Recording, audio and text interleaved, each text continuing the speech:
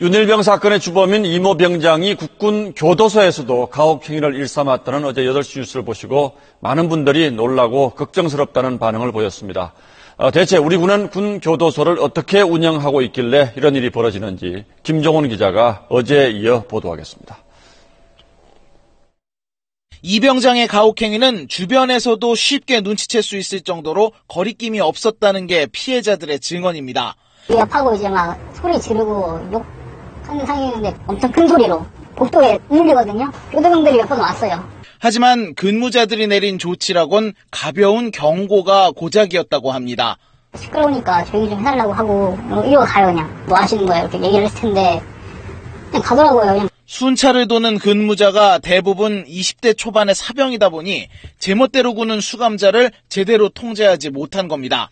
되게 좋아해. 안에서 라면집 절대 안 했는데 몰래 다 먹어도 안 걸리니까 그냥 먹, 먹고 거다 먹는 거예요. 되려 근무자가 먼저 규정을 위반하는 경우도 비일비재했다고 합니다.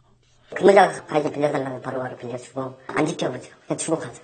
흉기로 사용이 될 수 있어 반입이 엄격히 금지된 가위나 손톱깎이를 근무자가 쉽게 빌려줬다는 겁니다.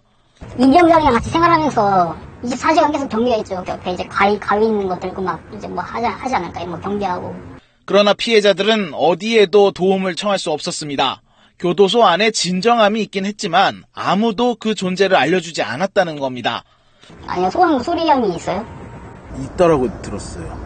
아 원래 있었어요 거기 소방부 소리함이란 건 아예 못 들어봤고요 전문가들은 35년 중형을 선고받은 이병장을 단기 수감자와 한 방에 수감한 것부터가 규정 위반이라고 지적합니다.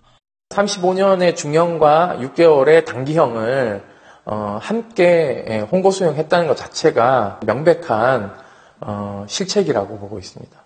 군은 뒤늦게 국군교도소의 관리 소홀에 대해 조사를 벌이고 있다고 밝혔습니다. 그 교도소 내에 수용자 관리 문제 있어가지고 더욱 예방 활동을 강화해 나가고 있겠습니다. 하지만 소 잃고 외양간 고치기란 비판이 들끓고 있습니다. SBS 김종원입니다.